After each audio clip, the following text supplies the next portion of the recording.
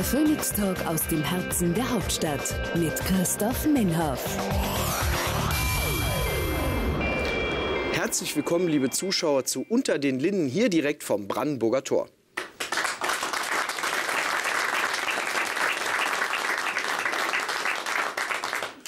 Ja, es sollte ein Kandidat jenseits der des Parteienstreites werden, so hatte man es uns angekündigt und mit Joachim Gauck, äh, so hat man uns vor und nach der Nominierung gesagt, sei der auch gefunden worden. Gemeinsam Union, SPD und Grüne haben uns das noch gestern Abend erklärt und keine acht zehn Stunden später geht es auch schon los.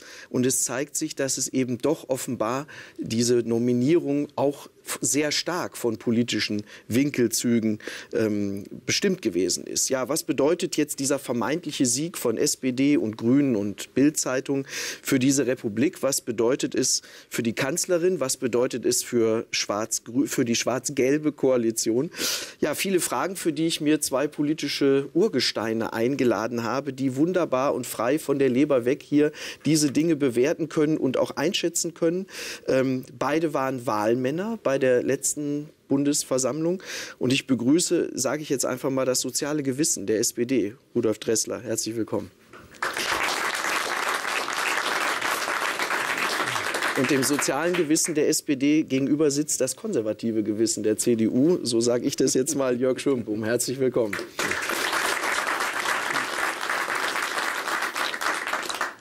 Herr Dressler, wir haben uns ja alle an diese wunderschönen Worte jetzt gewöhnt. Wir haben uns daran gewöhnt, dass das eine tolle, ein toller Akt des, der überparteilichen Findung eines gemeinsamen Kandidaten war. Ist nicht die Wahrheit, dass von vornherein es bei dieser ganzen Frage um ein Thema ging, nämlich um politische Machtspiele? Das ist zweifelsfrei zu bejahen. Das war so. Es war eine Machtauseinandersetzung. Gleichwohl sage ich, ich glaubte bis gestern, es hätte die Vernunft überparteilich gewonnen. Ja. Und heute geht das Theater wieder von vorne los.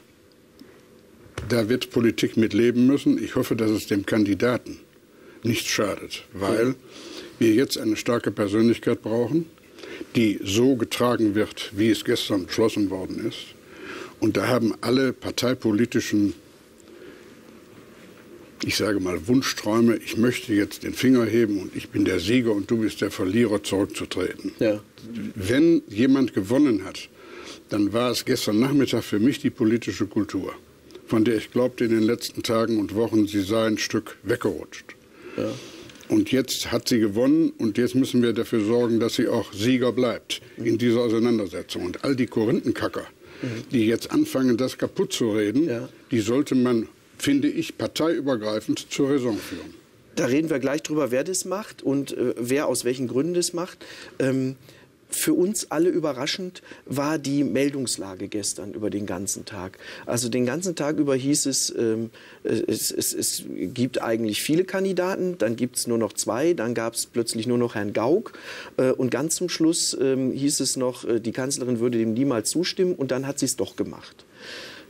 Wie nach, nach welchen Kriterien ist so ein Auswahlverfahren eigentlich sinnvoll?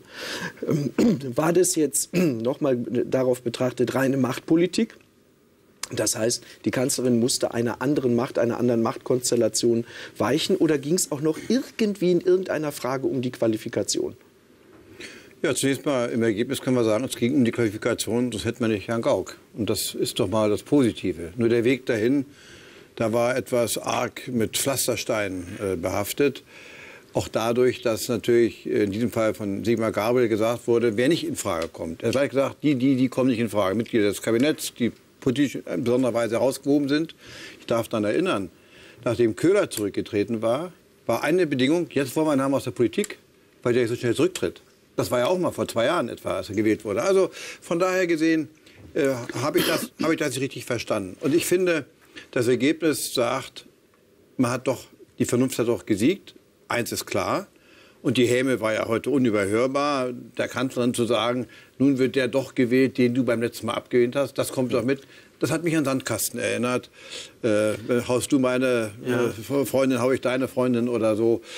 schade. Und, aber ich glaube, es ist jetzt erledigt und es wird gewählt. Und das Entscheidende ist doch, wenn Gauck ein so überzeugendes Wahlergebnis bekommt, wie jetzt die, was allgemeine Politik erörtert wurde von den Wahlmännern und Wahlfrauen, dann ist das Thema erledigt und er hat einen guten Start. Und das wünsche ich ihm von Herzen. Das finde ich ganz spannend, dass Sie das so gelassen sehen, weil ähm, ich finde es überraschend, aus Unionssicht es so gelassen zu sehen, denn ähm, erkennbar war doch, dass der Kandidat Gauck einmal ins Rennen geschickt wurde, um den Kandidaten Wulff zu verhindern ja. von der Sozialdemokratie. Denn auf den ersten Blick wäre, und dann frage ich auch Herrn Dressler gleich noch mal dazu, äh, auf den ersten Blick würde man nicht auf die Idee kommen, dass Rot und Grün sich ausgerechnet für Herrn Gauck als Kandidaten entscheiden, weil er nicht unbedingt bisher dadurch in Erscheinung getreten ist, dass er besonders sozialdemokratische Positionen vertreten hätte.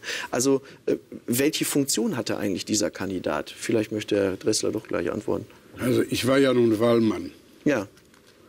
Innerhalb der Sozialdemokratie. Und mir ist es auch nicht schwer gefallen, Herrn Gauck zu wählen, weil ich äh, keinen Parteimann serviert bekommen wollte, hm. sondern ich wollte jemanden serviert bekommen, der imstande ist, über die Elemente der politischen Orientierung hinaus Menschen zusammenzuführen. Das aber heißt, jemanden, der auch meine Meinung nicht unbedingt teilt. Ja. Oder ich seine nicht. Das ist aber heldenhaft. Das ist selten in der Politik. Aber, ja, sehe, aber wir haben so viel Glück mit unseren Präsidenten ja. gehabt, dass man heute sagen kann, fast alle haben dieses geschafft. Und Gauck war jedenfalls der ganzen Erscheinung nach eine Persönlichkeit, von der man erwarten durfte, die schafft es auch. Für mich war das Herr Wulff nicht, aber geschenkt jetzt. Er hatte eine andere Mehrheit und es ist nun gekommen, wie es äh, hätte nicht kommen dürfen. Tatsache ist nur, ich habe keine Kritik an Frau Merkel zu üben.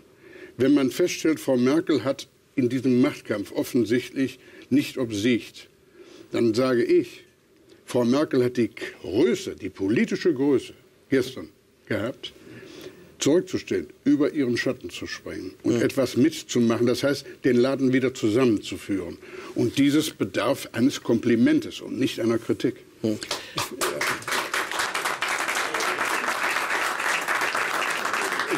Ich möchte vielleicht mal, weil Sie so sagten, Herr Dressler, auch meine persönliche Geschichte der letzten Bundestagswahl, ich war auch Wahlmann, äh, erklären. Ich habe öffentlich gesagt, ich bin für Gauck. Äh, zu einem Zeitpunkt, als meine Partei für Wulff war. Und dann hat Dietmar Gabriel für mich einen schwerwiegenden Fehler gemacht. Er hatte mich gesagt, wir werden bei dieser Wahl zeigen, dass Merkel keine Mehrheit mehr hat. Und in dem Augenblick, wo das so instrumentiert wurde, habe ich Christian Wulff gewählt weil ich gesagt habe, wenn das so ist, dann machen wir das auch so. Von daher gesehen hoffe ich, jetzt ist ja die Sache entspannter sozusagen. Aber dann wird deutlich, dass dieses, äh, dieser Vorschlag immer versucht wurde, parteipolitisch zu instrumentieren, obwohl ich glaube, dass der Bundespräsident, wenn er diese Aufgabe übernommen hat, vollkommen egal, wer es bisher war, sich davon frei gemacht hat. Und dann sollten sich die Parteiführer davon auch frei machen. Da stimme ich Ihnen also voll zu. Also haben wir schon mal so weit, äh, glaube ich, Konsens. Also Natürlich war das eine machtpolitische Frage, ob man den Kandidaten durchsetzt oder nicht. Das ist, äh, glaube ich, unbestritten. Ähm, deshalb mal die nächste Frage wieder an Herrn Dressler. Was gefällt Ihnen denn jetzt inhaltlich an Herrn Gauck am besten? Ich frage jetzt mal ein bisschen provokant. Ähm, Freiheit ist der, der, große Begriff, den er nach vorne bringen möchte. Das ist sein großes Thema. Und eine Freiheit, die er in verschiedenen äh, ähm, Ausführungen, kommen wir auch noch näher dazu, äh, doch sehr stark eher an einen Liberalismus anlehnt. Der Begriff Solidarität ist da relativ selten zu hören. Ähm, sind Sie ganz sicher, dass Sie in der Sozialdemokratie nicht vielleicht einen Kandidaten auch hätten finden können, dem der Begriff Solidarität näher ist als der Begriff der Freiheit? Durchaus denkbar. Für mich ist aber Freiheit ohne Solidarität oder umgekehrt überhaupt nicht denkbar. Ja. Das ist eine Frage, wie man das interpretiert. Für einen genau. Konservativen genau. ist der Begriff Freiheit genauso elementar. Auch für einen Liberalen übrigens. Ja, ja, klar. Also ob links oder rechts, das ist nicht das Problem. Das Problem ist, Gauck hat sich für dieses Thema Freiheit entschieden. Und in all seinen Facetten reichen ja vier Jahre Bundespräsident gar nicht aus, dieses Thema in Deutschland zu platzieren. Ja. Dazu müsste er ja acht Jahre Zeit haben, mhm. mindestens. Und das bedeutet, wer ihn jetzt kritisiert, er sei zu einseitig, mhm. der ist für mich mit dem Thema Freiheit jedenfalls noch nicht äh, sehr intern und ausgiebig umgegangen. Freiheit zu sagen, also den Begriff Freiheit zu nehmen und zu sagen, das ist ja zu eingeengt. Ja. Also der hat meiner Meinung nach die politische Palette ja. und auch die Geschichte Deutschlands wenig begriffen. Ja, aber, aber das Spannende ist ja, dass er den Begriff Freiheit vor allen Dingen mit dem Begriff Verantwortung kombiniert. Ja. Und das ist, ja, ja, ja gut, ähm, Sie sagen beide ja. Ich erinnere mich hier an Diskussionen auch an diesem Tisch, wo die Frage von Verantwortung und Eigenverantwortung und Freiheit durchaus auch, sagen wir mal, aus dem politisch linken Lager eher kritisch gesehen wurde, weil man äh, damit beispielsweise Herr Bahr auch, äh, also der derzeitige Gesundheitsminister ja auch beispielsweise die Selbstbeteiligung im Gesundheitswesen als Verantwortung und Freiheit begreift. Also kommt da jetzt ein Stück Liberalismus wieder über den Bundespräsidenten? Ja, ist aber nicht der Präsident. Nein, der glaube, Präsident heißt Gauck. Ich glaube, es kommt etwas ganz Elementares rein was Gauck aus seiner Biografie heraus erklärt, die Bedeutung der Freiheit. Wir haben das doch immer selbstverständlich genommen wie Luft zum Atmen. Und äh, zur Freiheit gehört, dass man sich auch erwerben muss, um sie zu besitzen und sich darum auseinandersetzen muss. Wir müssen uns auch in diesem auseinandersetzen in der Frage Informationsfreiheit. All die Fragen hängen damit zusammen. Und sie zu verteidigen. Und verteidigen. Ein so breites Feld. Von daher gesehen finde ich es gut, dass Gauck gesagt hat, das ist für ihn ein zentrales Thema, denn aus der Freiheit kommt die Verantwortung, aus der Verantwortung kommt, dass man die Chancen bekommt. Dann kommt das Thema Chancengleichheit, Chancengerechtigkeit. All das hängt damit zusammen, dass man die Freiheit nutzen kann und die einem innewohnenden Fähigkeiten auch entwickeln kann. Also von daher finde ich das ein sehr ich, wichtiges Thema. Solidarität zum Beispiel braucht Freiheit. Freiheit. Ja. Ich, ich, ich stelle die Frage deshalb bewusst so, weil es für den ähm, Betrachter zunächst einmal ungewöhnlich ist, dass der Herr Gauck äh, ich sage es nochmal, der Kandidat dann war des politisch linken Lagers. Und aber eigentlich die, die, Linkspartei, linke Lager, lehnt ihn drakonisch ab. Ja, da, da, kommen wir auch noch zu. Ja, das, das, hat ja auch Gründe, ja. Ähm, äh, vielleicht sogar nachvollziehbare aus deren Sicht. Ähm, die, die, dass dieser Kandidat nicht von Anfang an eher ein Kandidat des bürgerlichen Lagers war, ist doch die eigentliche Überraschung an der Geschichte. Also mich hat es vor 20 Monaten gewundert, dass die CDU ihn nicht genommen hat. Genau. Die so. FDP hätte ihn akzeptiert, damals schon. Ja, Und die CDU hat es nicht gemacht. Aber das ist das Geheimnis was die CDU nun vertreten Aber er war Wahlmann der ja, CDU. Es hat ja mehrere CDU-Leute gegeben, ja. die sich für Gorg entschieden haben. Aber da muss doch in der, es gibt doch immer vorher diese wunderbaren Runden, wo möglichst versucht werden, alle eingeschworen zu werden. Da wird man ihnen doch irgendwelche Gründe genannt haben, warum es Herr Gauck ja, nicht werden darf. Nein, nein, warum es Gauck nicht werden darf, nicht, sondern warum es Wolf werden muss. Damit ist klar, es ging, der CDU ging es nicht um Gauck, sondern der CDU ging es um Wolf, dass für Wolf die Mehrheit ist. Hm. Und nachdem er sich so zugespitzt hatte, ich gehe mal davon aus, wenn man das alles ganz anders ange, angefangen hätte da, damals, wären möglicherweise auch andere Lösungen gewesen. Aber äh, das, war nicht, das war nicht möglich. Von daher gesehen ging es jetzt äh, damals um die Frage, wie können wir unseren Kandidaten durchsetzen. Und äh, dass wir jetzt äh, sozusagen vor einer Neuwahl stehen und Gauck jetzt gewonnen hat, ist eine Ironie der Geschichte. Aber zu sagen, dass deswegen alles andere vorher falsch war. Ich will einen Punkt sagen. Ich, ich habe mit meinen Kindern diskutiert. Meine älteste Tochter ist 51 Jahre alt. Ich habe gesagt, na, der Wolf ist noch ein bisschen jung. Was meinen Sie, was ich da von meinen Kindern gehört habe? Die haben gesagt, du denkst immer nur, die Alten können das. Nein, jetzt 50 Jahre ist nicht mehr jung und so weiter und so fort. Eine lebhafte Diskussion. Und das, die Diskussion müssen auch stattfinden.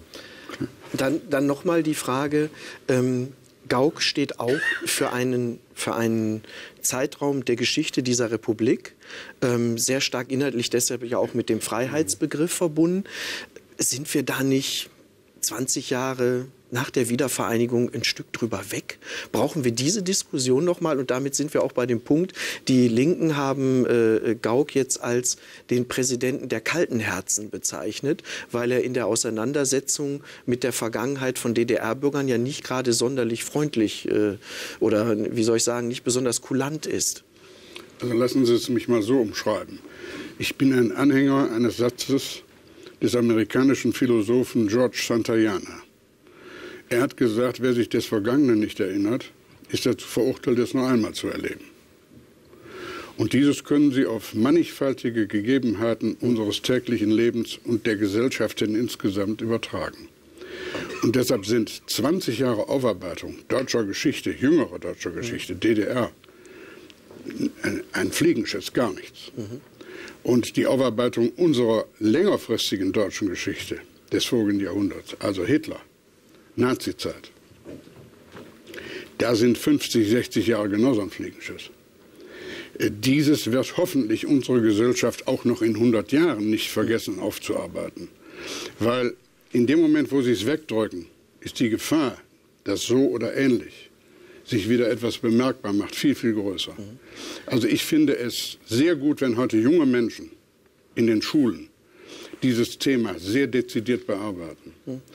Einer meiner Söhne ist 19 Jahre alt. Der, der kennt die DDR gar nicht mehr aus eigener richtig, Erfahrung. aber der steht jetzt im Abitur. Und der hat dieses Thema, DDR und deutsche längerfristige Geschichte, also Nazizeit, sehr dezidiert in den Stundenplänen. Und wie die das abarbeiten in den Schulen, finde ich hervorragend. Ich habe das damals nicht gemacht, weil die Zeit, als ich so weit war, ganz anders war. Da hat man sich nicht getraut, die eigene Geschichte zu behandeln. Und das ist Gott sei Dank heute anders. Ich frage das, frag das deshalb nicht, weil ich jetzt hier den, den, den äh, äh, nominierten Madig machen will, sondern weil etwas auch wieder ganz Seltsames passiert ist. Bis gestern Abend gab es in der Presselandschaft der Republik und auch auf den, im Netz, in, der, auf, in, der, in den Blogs und in den, in den sozialen Netzwerken eigentlich nur durchweg positive Reaktionen auf Gauck. Und seit heute Morgen auf einmal beginnen plötzlich die Mechanismen, dass Menschen hinterfragen, ist es überhaupt der Richtige?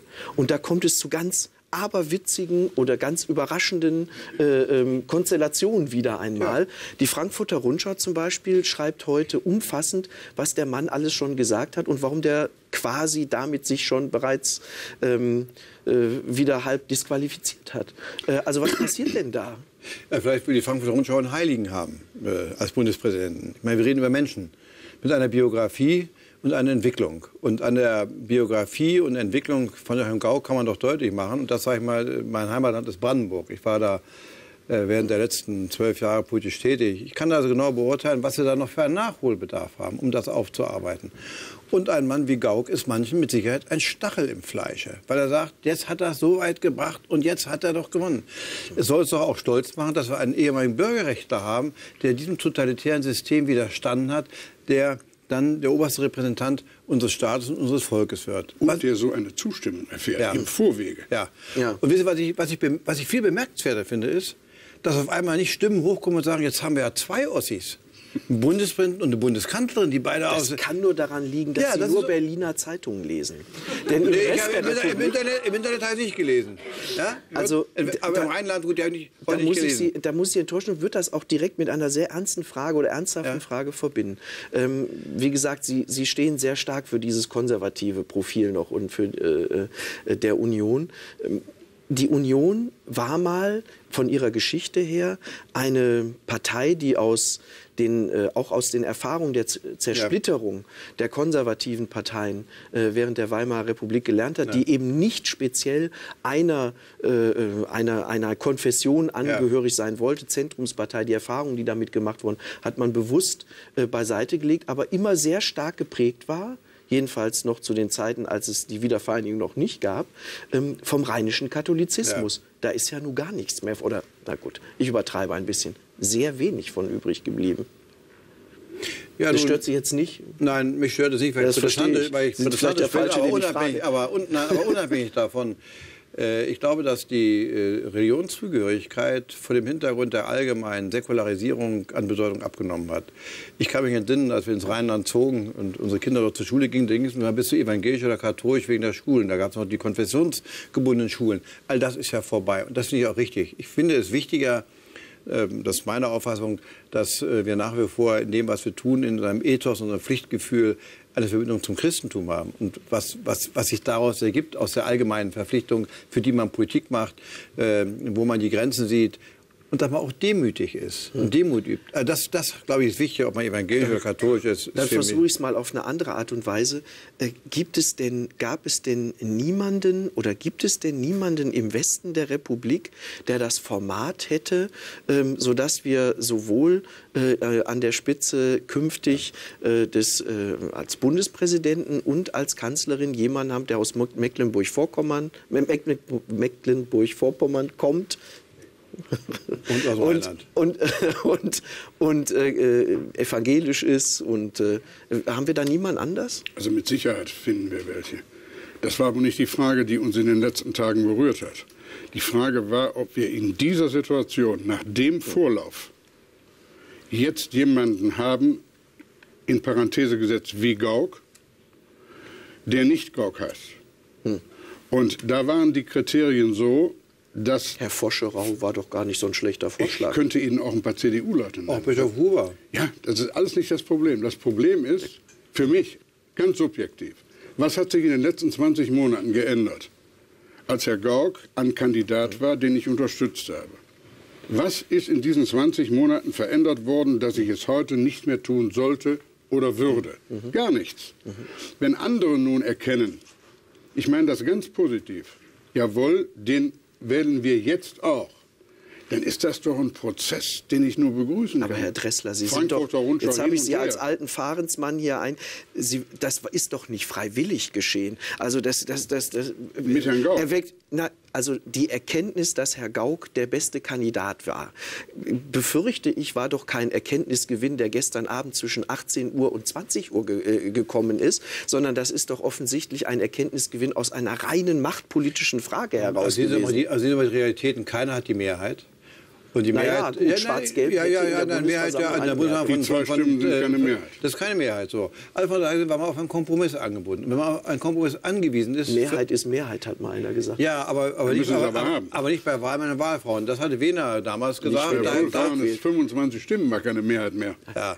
Also, nein, von daher gesehen muss man einfach mal den Sachverhalt zur Kenntnis nehmen. Keine der Pa- Volksparteien oder Parteigruppierungen, Koalitionen hat die Möglichkeit, mit eigener Mehrheit einen Kandidaten durchzusetzen. Wenn das der Fall ist, kann man sich, nach dem, was jetzt passiert, im Rücktritt des Bundespräsidenten, sozusagen eine Hängepartie äh, leisten und jemanden wählen, der im dritten Wahlgang mit Ach und Krach gewählt wird. Es geht darum, dass der neue Präsident eine Autorität hat, die auch ihn unterstützt, durch die Wahlmänner und Wahlfrauen mit einem überragenden Ergebnis. Von daher gesehen war das der einzig logische Weg. Wie Weiß ich nicht. Ich, ich gebe mal eine Alternative. Es gibt ja bereits eine Dolchstoßlegende, sozusagen die FDP war es, die quasi ähm, äh, sich äh, klammheimlich aus der Verabredung verabschiedet hat, indem sie durch einen Beschluss, also nicht durch ein offenes Verfahren, sondern durch einen Beschluss entschieden hat, Kanzlerin friss oder stirb sozusagen, Ja. Koalition oder Gauk. Und das war schon, äh, finde ich, ein bemerkenswertes Verfahren. Das spricht jetzt nicht, ich, ich beziehe mich ja. nur darauf, auf das sozusagen Erkenntnisgewinn. Am Ende sind wir glücklich, dass wir alle den richtigen Kandidaten gefunden haben. Schön. Die Wahrheit ist, es war ein knallhartes Machtspiel. Ja gut, das habe ich am, ganz am Anfang ja bejaht. Das war aus meiner Sicht natürlich ein Machtspiel. Ich sage nur, nachdem das Machtspiel zu Ende war, gilt es für mich festzustellen, wer hat denn nun gewonnen. Ja, Nicht Frau Merkel hat gewonnen, nicht Herr Gabriel hat gewonnen, ja. sondern gewonnen hat die politische Kultur. Ja. Und der zukünftige Präsident, das unterstelle ich jetzt, der mit dieser Deckung im Rücken vorher seinen Job viel leichter antreten kann, als es Herr Wulff übrigens konnte. So, und diese Voraussetzungen, die betrachte ich positiv. Dann, dann stellt sich für mich die Frage, wird denn Herr Gauck mit den gleichen Maßstäben gemessen werden müssen wie Herr Wulff? Also, oder gibt es jetzt, er hat, er hat gestern gleich gesagt, ich, ich sage euch gleich, ich, ich, bin nicht fehlerlos und ich bin kein Superman und bitte verzeiht mir die Fehler. Äh, Das hätte Herr Wulff ja möglicherweise auch sagen können, nur ähm, ich befürchte, er hätte es nicht so nett gesagt und vielleicht hätte man es ihm auch einfach nicht durchgehen lassen. Und die Also- Fehlerquote im Nachhinein hätte ihn dann auch schlimm eingefangen. fangen. Also die Frage ist, werden wir den neuen Präsidenten jetzt mit den gleichen Maßstäben messen, wie wir es bei Herrn Wulff gemacht haben? Da bin ich absolut sicher. Dafür sorgt der Artikel 5 unserer Verfassung, nämlich die Pressefreiheit. Da bin ich absolut sicher. Da gibt es nichts. Das werden die schon kontrollieren, unabhängig von den Parteien, die möglicherweise dann Zurückhaltung wahren werden, weil sie ja alle ihn gewählt haben. Also da wird der Journalismus für sorgen, wenn da was passiert und aufdeckungsfähig ist, dass das auch aufgedeckt wird. Aber ich kann nur eins sagen, ich hoffe, dass Maßstäbe angelegt werden, die auch sich im Bereich der Verhältnismäßigkeit bewegen. Und das ist ja ein Thema, was bei der Politik sehr schnell geschieht. Äh, Wenn Sie als Politiker etwas machen, das äh, können Sie als normaler Bürger eher machen. Das äh, wird Sie nicht so einholen, als wenn Sie in der Politik sind. Als Bundespräsident, den holt das alles ein. Von daher, gesehen, wer dieses Amt annimmt, muss wissen, dass, wo er sich bewegt. Das ist, die glaube, nächste, das das, die nächste. Frage, die heute schon überall gestellt wird. Ähm, also über den Fall Wulff will keiner mehr reden, das ist jetzt auch irgendwie rum. Äh, aber eines ist ja bemerkenswert gewesen, einem solchen Trommelfeuer ähm, über Monate standzuhalten, ist ja geradezu schon, äh, ja, ich, ich, weiß gar nicht, welchen Ausdruck ich dafür finden ja. soll. Gibt, ähm, Sie müssen schmerzfrei sein. Das, genau. Also man muss komplett schmerzfrei ja. sein, um das auszuhalten. So, jetzt stellt sich die Frage, was wir ja offenbar gleich alle an Herrn Gauck mögen, auch an dem Auftritt gestern, könnte ja möglicherweise wieder dazu führen, dass man einen Kandidaten hat, der vielleicht ja. zu sensibel ist, um einem solchen Trommelfeuer. Ich, ich sage das deshalb, ich sage das deshalb, weil im Gegensatz zu den Printmedien, wohl da fängt es ja heute, habe ich ja gesagt, auch schon an, man im Netz bereits ähm, massiv gegen die Kandidatur vorgeht. Es gibt Blogs und es gibt ganz viele Äußerungen der Netzgemeinde. Die Piratenpartei hat angekündigt, möglicherweise einen eigenen Kandidaten zu finden. Ja, das wird mich aber schwer beeindrucken. Ja, ja. Fragen Sie mal Herrn Gutenberg. Ähm, die Frage. Soll das der Kandidat sein? Nein, das nicht. Aber fragen Sie mal Herrn Gutenberg, was die, was die Macht des Netzes anbelangt. Also die Frage, inwieweit man ähm, einer solchen Netzöffentlichkeit auch auch das aushalten muss, das wird nicht einfach werden. Ja, ist die Frage, wollen wir denn sagen, die Aufgabe ist so schwer, dass sie kein Mensch wahrnehmen kann? Nein, nein also ja. ja. nein, ich kann nur sagen, äh, wer dieses Truman hat mal gesagt, wer in die Küche geht, muss Hitze abkönnen. Wer in die Politik geht, muss es auch abkönnen. In bestimmten, in bestimmten Maßen irgendwo, wo, wo die persönliche ja, Würde oder Ehre äh, beschnitten wird. Das ist klar. Mir ist auch schon oft gesagt ich soll mein Gehirn untersuchen lassen, weil ich dies oder jenes gesagt habe. Gut, da wird morgen die, der Fisch drin eingewickelt in der Zeitung. Damit kann man umgehen, will ich mal sagen. Das haben wir auch erlebt.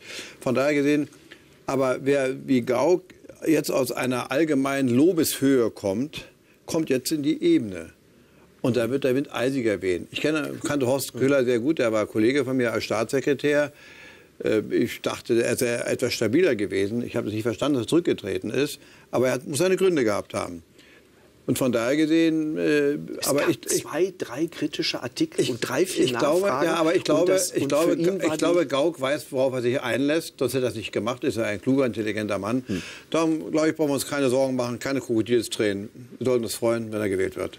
Okay, gut, ja, noch ist er es ja nicht. Das ist ja, ja vielleicht wird der Kandidat ja. der Piratenpartei gewählt. Nein, ähm, Gott sei Dank ist es ja ein demokratisches Verfahren. Da kann man ja noch offen, transparent. Ähm, Herr Gauck zum Beispiel, also ich, ich zitiere mal, was da in der Netzgemeinde schon kritisiert wird, weil das ja schon spannende Fragen sind. Wo wird es möglicherweise hingehen ähm, mit diesem Präsidenten? Es wird kritisiert, er sei für die Vorratsdatenspeicherung. Das ist jetzt nur etwa ein Thema, wo die FDP eigentlich ehrlicherweise hätte sagen müssen, das ist jetzt nicht unser Mann. Ähm, das wird äh, zum Beispiel kritisiert. Hat aber oder für die FDP offensichtlich keine Rolle gespielt. Erstaunlich. Deshalb, ich, ja, ja, ich will es ja nur verstehen. Das kann ich ja dann wiederum nur begrüßen, dass auch die FDP über einen politischen Schatten gesprungen ist. Hm. Und so ist es bei der SPD übrigens genauso. Ja, Sarrazin. Die, Europä die Europäische Union ist auch für Vorratsdatenspeicherung, nebenbei bemerkt. Ja, ja, ja, ja, ja so. genau. Und, und die Frage, die Sie, gut, da muss ich es jetzt doch an der Stelle schon machen, weil wir schon mal an, an der Stelle sind. Auch das wurde heute schon bereits äh, angedeutet. Äh, in der Union ist man offenbar doch vergleichsweise so verärgert über das Verhalten der FDP, dass man gesagt hat, und eins im Sinn, und man sieht sich immer zweimal, ich glaube, das war sogar ein wörtliches das Zitat. Das ist so in der Politik, ja, das weiß und, jeder. Ähm, das Thema Vorratsdatenspeicherung könnte zum Beispiel das nächste Thema sein, wo man sich auch plötzlich mal Mehrheiten suchen könnte, äh, jenseits der FDP. Ja. Gut, das, äh, ich bin nicht mehr im Präsidium, ich kann das nicht beurteilen. Ich bin sicher, dass die Bundeskanzlerin klug genug ist, das zu entscheiden, was die Koalition zu Ende zusammenhält in der Euro-Krise, all den Herausforderungen, die wir jetzt vor uns haben. Darum sehe ich das mit einer gewissen Gelassenheit. Das ist so ein bisschen also, Getümmel. Also das ist, ja, das ist ja die interessante Frage, die heute sozusagen kolportiert wurde, die von den Grünen auch sehr stark äh, nach vorne getragen wurde. Wie war der Ausdruck irgendwie im Kalten Krieg war es irgendwie wärmer als irgendwie ja. zwischen den Koalitionspartnern? Das ist ja auch eine interessante war Formulierung. War es gemütlicher? Ähm, Man muss ist, war, das, war, war das gestern, war das gestern ähm, unabhängig aller Befragungen und demoskopischen äh, ähm, äh, Befragungen, war das gestern äh, der Anfang vom Ende dieser Koalition oder ist es wirklich ein, ein Schlachtenrauch, der irgendwie in einer Woche vergessen ist? Also ich tippe auf das Zweite. Ich sage Ihnen auch warum. Ja. Mein Eindruck war, dass nicht nur bei der CDU, sondern auch bei weiten Teilen der SPD die Meinung vorherrschte, die FDP ist so kaputt, dass die CDU, also Merkel jetzt, mit ihr machen kann, was sie will, auch in der Sache Präsident. Mhm. Und nun hat die FDP in einer Situation gestanden, wo sie wirklich nach dem Grundsatz alles oder nichts operieren musste.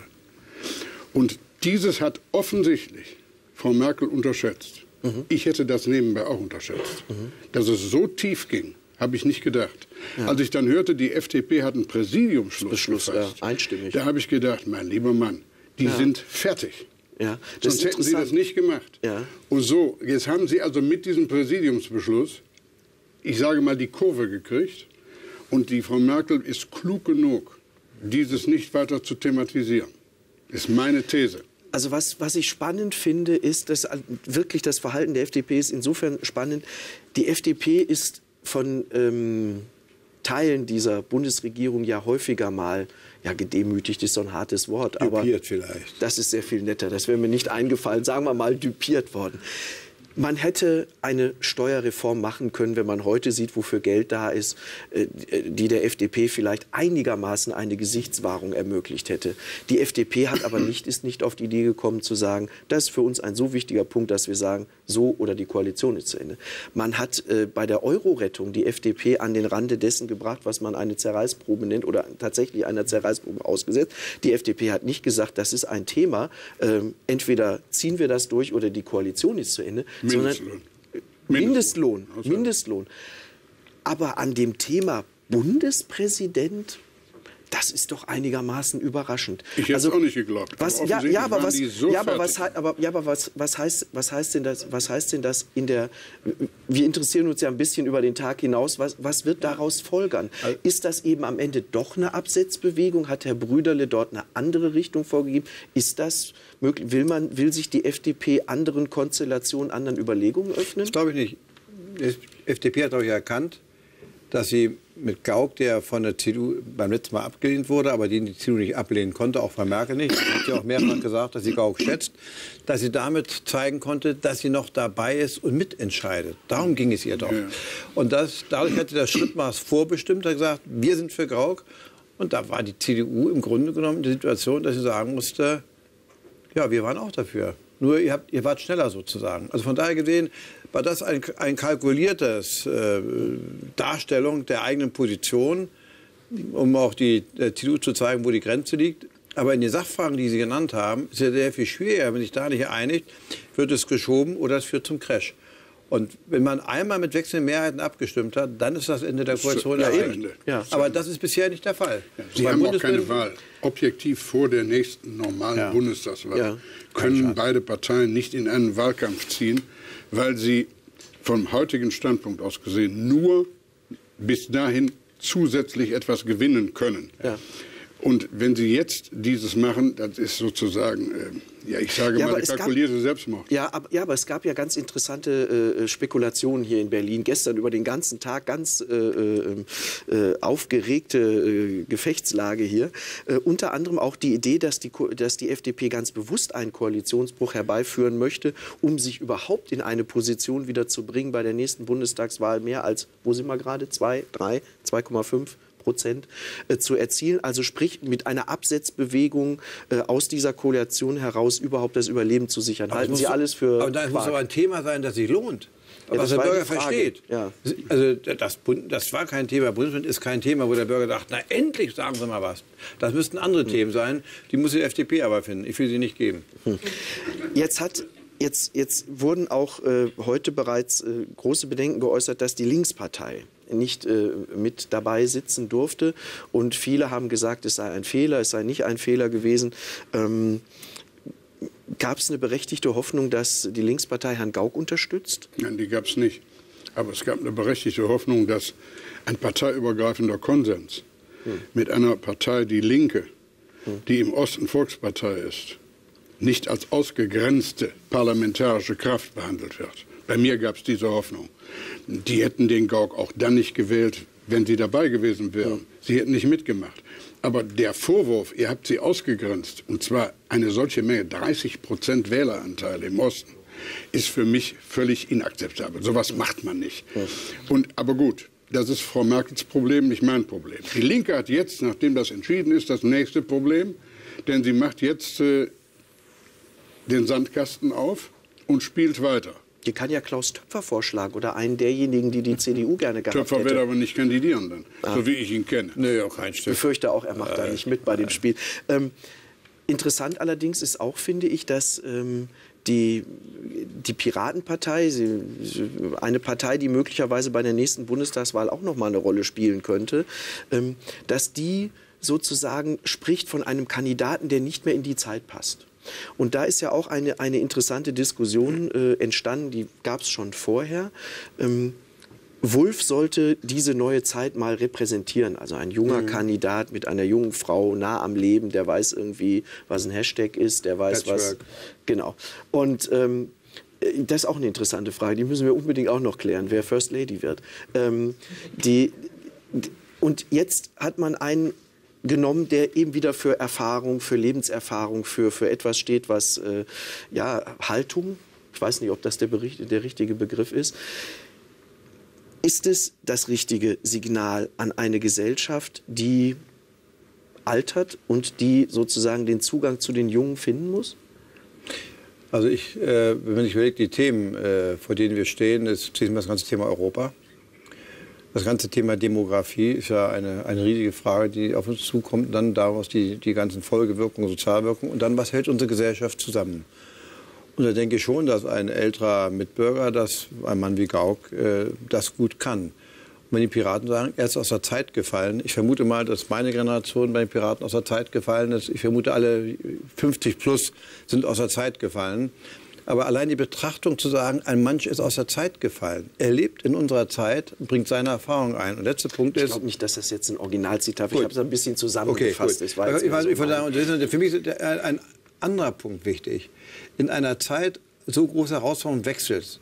Die Menschen bleiben gleich. Die Menschen haben sich seit der griechischen Tragödie nicht geändert. Sie können die griechischen Tragödien heute lesen. Das gibt es heute wie damals. Das heißt, die Lebenserfahrung im Umgang mit Menschen ist durch nichts zu ersetzen. Und darum glaub, bin ich persönlich der Auffassung, dass es gut ist, wenn ein Bundespräsident, der über den Parteien steht, der eine ausgleichende Funktion hat, der Lebenserfahrung, Autorität mitbringen soll, wenn er zu den älteren äh, Mitbürgern gehört. Jetzt hat man einen Kandidaten gefunden, der überwiegende Teil der Bevölkerung wie der politischen Klasse ist glücklich. Die Bildzeitung ist auch glücklich. Ganz, ganz, ganz viele, ganz viele Dinge kommen, kommen hier zusammen. Wäre es jetzt der richtige Zeitpunkt, um darüber nachzudenken, ein anderes Verfahren zu finden, wie man künftig wieder einen Kandidaten findet, der alle oder die meisten glücklich macht? Sprich, ist dieses Verfahren, wie wir es bisher haben, wirklich das geeignete oder sollte man nicht doch auch ein Stück äh, Demokratie wagen und äh, den Bundespräsidenten künftig aus einer Fülle von Kandidaten auswählen? Ich wage eine Prophezeiung. In einer direkten Wahl. Ich wage eine Prophezeiung. Wenn die Ära Gauck als Präsident erfolgreich ist, mhm. wird bei der nächsten Wahl keiner mehr darüber reden. Wenn sie nicht erfolgreich wäre, mhm. werden wir dieses Thema neu bekommen. Bis zur Wahl von Herrn Köhler hat kein Mensch darüber geredet. Mhm. Ich bin ein Anhänger der parlamentarischen Demokratie und ich bin ein Gegner der Präsidialdemokratie. Mhm. Wenn wir diese Präsidialdemokratie wollen, wie in Frankreich zum Beispiel oder in den Vereinigten ja, ja. Staaten, dann müssen wir unsere Verfassung ändern. Und diese Verfassung, glaube ich, ist so gut, die wir haben, dass sie von den heutigen Parteien nicht mehr geleistet würde wenn Sie sie neu formulieren könnten oder müssten. Ja, aber warum? Und deshalb warum Sie, bin ja. ich der Auffassung, ja. es so zu belassen. Wir haben doch so gute Präsidenten gehabt mit dem System, was wir haben. Und weil wir jetzt zweimal, ich sage mal, ins Klo gefasst haben, ja, mit den Wahlen. Das wusste man übrigens bei beiden Fällen auch nicht vorher. Richtig. Dann sage ich, daraus jetzt die Verfassungsdebatte zu führen, Sie muss jetzt verändert werden, das ist nämlich die mhm. Konsequenz. Hielte ich für zu früh. Stimme ich ausdrücklich zu. Warum, warum gibt es so wenig Verfassungspatriotismus dann in dem Land und warum interessieren sich immer weniger Leute nicht, nein, das, das kann man glaube ich gar nicht mal sagen, dass sie sich weniger für Politik interessieren, aber dass sie den Parteienstaat immer weiter ablehnen. Woran liegt denn das? Liegt das jetzt nur irgendwie ähm, an ja. den Sie haben bei Ihrer ersten Frage äh, zu diesem Thema, glaube ich, einen, einen Gedankenfehler gemacht. Sie haben gesagt, der von, allen, nein, der von allen akzeptiert ist. Das Ergebnis einer Wahl kann nicht ein äh, Mann oder eine Frau sein, die von allen akzeptiert wird. Die, die Demokratie lebt vom Gegensatz und von dem Kampf darum, welche Lösung oder welche Persönlichkeit nach Auffassung der Mehrheit der Bevölkerung die beste Lösung bringt, die beste und so weiter und so fort, was mit zusammenhängt. Von daher gesehen, wenn wir jetzt sagen, wir wollen einen Präsidenten wählen, der sozusagen nicht aus einer Abstimmung hervorgeht, sondern irgendwie anders. Konsens, glaube ich, wird nicht funktionieren. Zum Zweiten, es müsste Wahlkampf stattfinden. Bitte? Ja, ja. Es müsste ein Wahlkampf ja, ja, um ja, den Präsidenten stattfinden. Das ist ja das, was wir nicht wollen. Wie, jetzt aber jetzt, aber ich finde das auch sagen. Was mich etwas bedrückt ist, dass die Unterschiede zwischen Parteien immer geringer wahrnehmbar sind für die Bürger. Wir haben zu wenig Auseinandersetzungen. Und dann kommen politische Entscheidungen, die sind dann ohne Alternative. Und worüber sollen die Bürger sich eigentlich interessieren? Die sagen, wieso ist sowieso ohne Alternative? Wo, wo, ist der große Unterschied in Sozialfragen zwischen SPD und CDU? Die Fachleute kennen das Kleingedruckte, aber wahrnehmbar ist das nicht mehr so. Und das kommt, dann kommt die Leute, ja, wofür eigentlich noch zur Wahl gehen?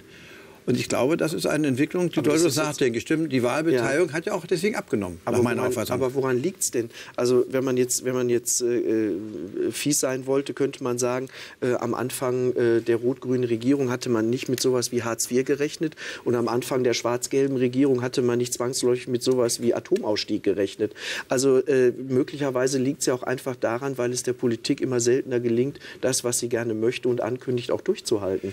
Und auch zu erklären. Und was sie macht, zu erklären. Ich glaube, der, über Atomausstieg ich habe es für falsch gehalten. Aber das, das ist jetzt gar nicht wichtig. Sie sind aber richtig dissident. Sie waren Nein. für Gauck, Sie sind gegen den Atomausstieg. Nein, ich habe die Art und Weise, wie es gemacht war, habe ich für falsch gehalten. Ich bin für Abschaffen der Wehrpflicht, aber wie es gemacht wurde, habe ich auch für falsch gehalten, weil vieles nicht kommuniziert wurde. Ja. Es kam hoppla hopp aus dem Busch mit all, den, mit all den Schwierigkeiten. Ich glaube, Politik erklärt nicht genug die Sinnhaftigkeit. Europäischer Rettungsschirm. Unterhalten sich da mal mit Leuten auf der Straße, wenn ich mich nur mit meinen Freunden unterhalte, allgemeine Ratlosigkeit. Alle sagen, ja, ohne Alternative ist das aber, ist das richtig? Also, wir, wir müssen uns alle darum bemühen, mehr zu vermitteln, aber auch mehr nachzufragen und, und, uns mehr zu informieren. Ist das eine Rolle? Ist das eine Rolle für einen Bundespräsidenten als Mittler zwischen politischer Klasse und Bürgern? Kann, Bürgerpräsident kann ist ja, ist ja da jetzt so ein Stichwort, das sein. genannt wird. Oder muss der gerade im Gegenteil einer sein, der quasi noch einmal den den Regierenden, aber auch der Opposition, also der politischen Klasse, wirklich auf die Finger guckt und möglicherweise auch auf die Finger haut. Haben frühere Präsidenten gemacht, viele gemacht und wird auch in Zukunft wieder so sein. Dessen bin ich mir sicher oder glaube mir sicher sein zu dürfen bei Gauck, mhm. dass das so ist. Und zwar Dinge, die mir dann möglicherweise auch nicht schmecken. Aber genau das möchte ich. Mhm. Ja. Das kann ich dann nicht kritisieren. Okay. Ja, das war das Schlusswort. Ähm, äh, wir werden alle gespannt sein, erstmal, wie die Wahl ausgeht. Ich glaube, hochwetten dagegen sollte man, glaube ich, im Moment nicht. Äh, das ähm, ist wahrscheinlich weniger klug. Ähm, und wir werden alle sehen, wie er ja mit, diesem, mit dieser Medienmeute hier in Berlin klarkommt. Und wir werden sehen, äh, wie er seine Akzente setzt. Ich glaube, wir alle sind froh, dass zumindest das Thema, dass die Hoffnung besteht, dass sich das Thema irgendwann einmal vielleicht wieder normalisiert. Vielen Dank Ihnen beiden hier für die Erfahrung und für die. Für, ja, das, ist, äh, das waren 43 Minuten oder 44, die gehen, sind dann doch schnell rumgegangen. Vielen Dank dafür. Und Sie bleiben bitte bei Phoenix. Schönen Abend.